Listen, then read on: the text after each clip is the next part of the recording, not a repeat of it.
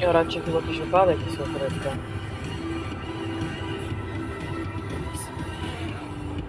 No, jedzie już policja czy karetka. Widzę po prawej stronie na, na bombach coś jedzie. Czekaj, przepuszczę to coś, bo nie wiem gdzie to nawet jedzie, czy to tu, czy to tam.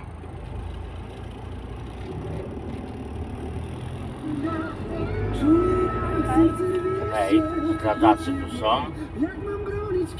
Tam dalej coś się dzieje.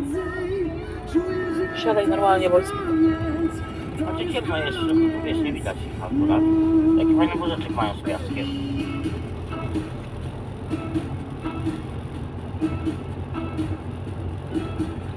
I się też nagrywa.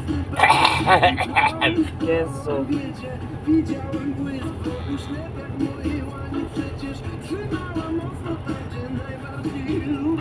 Jedna policja, druga.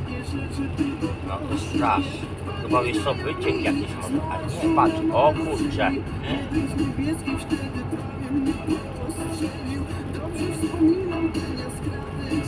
Ferrari.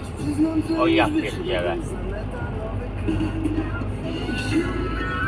O, ja cię kręcę. No co, pan się śpieszy. Nie wyrobił się.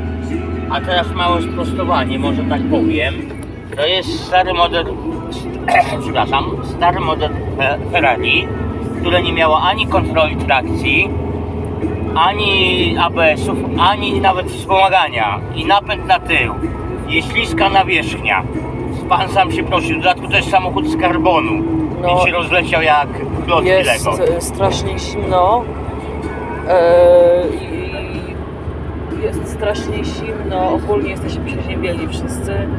4 stopnie było. Boli mnie gardło, mokro, wilgotno, a przecież ja wpchałam ten samochód dwa dni temu. Wyleciałam w krótkich rękawkach, więc po prostu pogoda jest do dupy.